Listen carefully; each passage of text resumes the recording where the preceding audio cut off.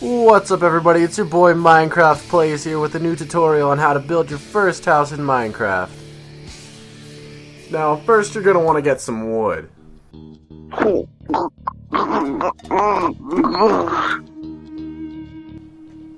Now you're going to want to take that wood you just got and make some planks out of it. Eat a dick! Now, I've found the most cost-effective way to build your house is to keep villagers nearby when you're building it. Look out, Dad! To keep it simple, just build a little cage around them so they can't leave.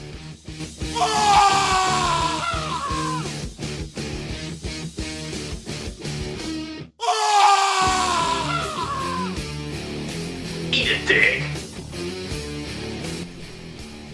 If one's prices are too high, it's never a bad idea to burn them and wait for a new one with better deals to spawn. Alright guys, I think you're ready to see the final product. And there you have it guys and gals, your first Minecraft house. Built before the sun is even set. Now if you liked the video, be sure to hit that big red juicy subscribe button and follow Minecraft Gets Bitches on Facebook, Twitter, Instagram, and MySpace. Now I'll see you guys next time. Peace.